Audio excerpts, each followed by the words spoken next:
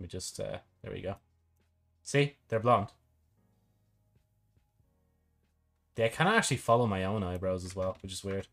Right, how do I, how do I unadjust myself? Oh,